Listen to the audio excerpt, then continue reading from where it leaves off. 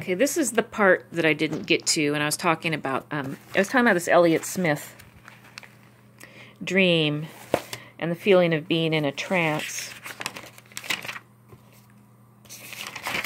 Being concerned that um, I could be made to do things unaware, maybe things I don't actually want to do. Um, I just want to talk a little bit about the physical symptoms of the day that I remember.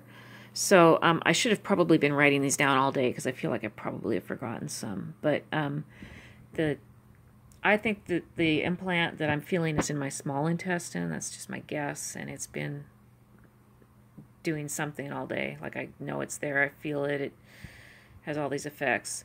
Um, something I call a head whoosh at 3 a.m. That was weird. It was a little scary, but it was short lived. Um, there's all kinds of head whooshes that they can do. Um, oh, this one is funny actually. Uh, so um, sudden sprained wrist feeling. This has been done in my ankles as well. So all of a sudden you'll be just doing going about your business, and all of a sudden you feel like you've got a sprained wrist or a sprained ankle out of nowhere, and it might be there for a little while and then it disappears. Like I've you know sometimes it'll persist, but like this this time and and frequently it's there for maybe an hour or two I mean, you really feel like you have a sprain. Normally, if you actually had a sprained wrist or a sprained ankle, it would last for at least a few days. But this is like, and and there would be a cause. You would actually remember how it happened. No, this just happens out of nowhere and then goes away as quickly as it comes. But the funny thing about this one is, I was reading about Mary Lou Lord in um, Everett True's Nirvana book, and I kind of picked up on the fact that he she mentioned having carpal tunnel from playing guitar so much, and he picked up on that and footnoted it and like explained what carpal tunnel syndrome was, and I thought that was kind of odd.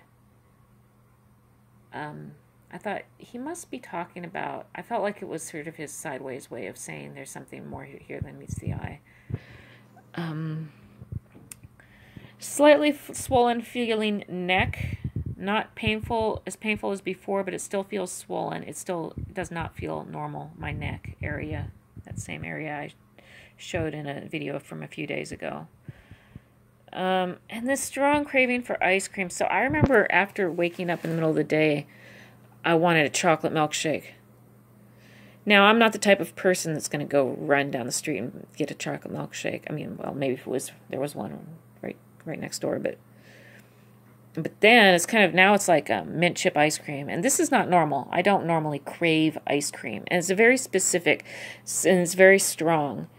Um, so maybe when i was younger i used to eat a lot of ice cream. Maybe i maybe i was made to crave ice cream through mind control. I don't know. But this is i think basically the same thing that happens to chris when he's being attacked with relapse beams so you have some sort of pathway in your head that's dormant um, that they inflame or create, or well, they, I don't think they create it. I think you have to already have some sort of, you know, yes, ice cream would be really good right now, kind of pathway in your brain.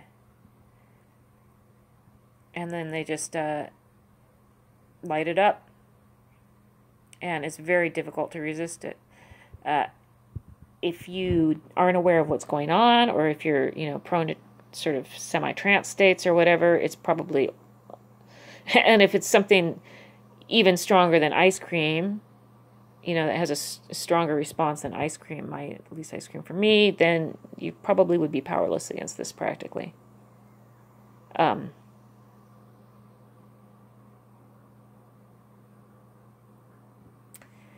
So that's like a drag. I don't like having, I mean, you know, it's like, uh, thank God I'm not an opiate a- addict. Thank God. Or any other kind of serious drug addict.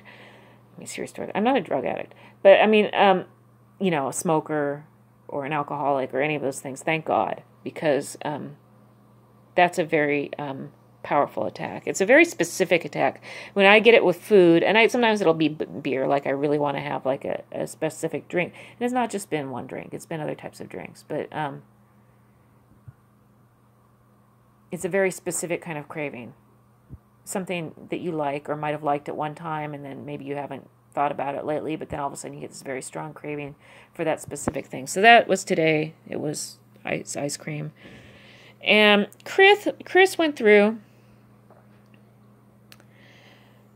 a breathing episode that I think was externally created because his hands were shaking and everything and I just recognize it as stuff that gets done to me, the type of thing that gets done to me where it, it feels like an anxiety attack, but he also has the added complication of having breathing issues and having weight issues.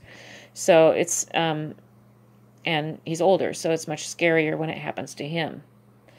And um you know, it's just situation we're in is anything but safe. That's that's all I know for sure.